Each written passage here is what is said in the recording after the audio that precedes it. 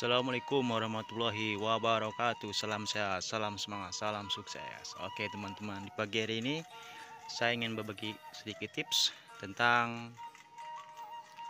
uh, Seputar dunia perkelincian. Nah, Di antaranya Tentang Tanggal perkawinan ya. Kita akan sharing-sharing sesuai pengalaman saya. Nih saya memberikan jamu. Tuh saya belum kasih makan dulu guys. Nah, oke tuh. Cikannya.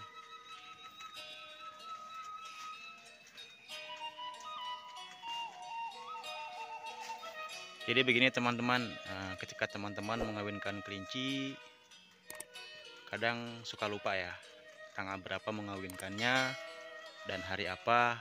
Itu cukup uh, penting untuk teman-teman uh, ketahui ya agar kita menghindari kelinci lahir di luar box.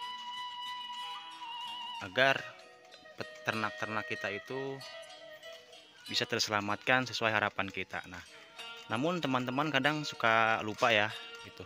Untuk tanggal lahirnya dan bulannya itu sebetulnya cukup uh, hal sepele. Akan tetapi jika ditelusuri itu sangat fatal untuk kita teman-teman ya. Jadi begini teman-teman saya punya sistem sederhana gitu teman-teman. Kita untuk mengingat saja gitu ya. Untuk tanggal kawinnya agar kita sudah persiapan di hari keempat sebelum pasca melahirkan atau hari ketiga agar kelinci kita uh, lahir sesuai harapan di dalam box begitu ya sistem dari saya seperti ini teman-teman ya. Ini uh, yang mudah-mudah saja gitu.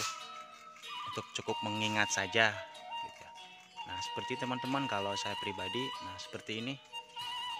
Tuh. Ini jenisnya dan tanggal kawin. Jadi untuk mempermudah kita juga ya. Gitu teman-teman. Nah seperti ini dan jenis, tanggal, kawin, dan bulan. Sama seperti ini. Nah, begitu teman-teman ya. Ini hanya mengingatkan saja untuk teman-teman ketika mengawinkan kelinci, kalau cukup banyak kita sebagai manusia kadang suka lupa ya. Gitu ya. Mungkin cara sederhana aja teman-teman yang seperti ini tuh. Ini cukup sederhana sebetulnya kan tetapi kita sebagai manusia kadang suka lupa.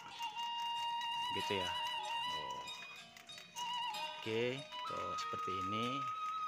Dan ini juga ada. Ini juga ada sebenarnya tanggal 9 bulan 7 cuman saya belum buat. Dan ini juga ada. Tanggal 8 bulan 7 gitu ya. Sedang minum jamu. Saya racik sendiri jamunya teman-teman lihat agar imunnya bagus dan nafsu makan pun bagus tidak mencegah kembung. Oke teman-teman ya.